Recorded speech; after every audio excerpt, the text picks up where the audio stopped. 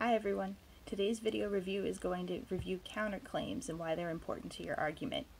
It's to the song of a classic cartoon about a certain individual who is yellow and porous and absorbent and lives in a pineapple. We're sitting around the campfire to sing the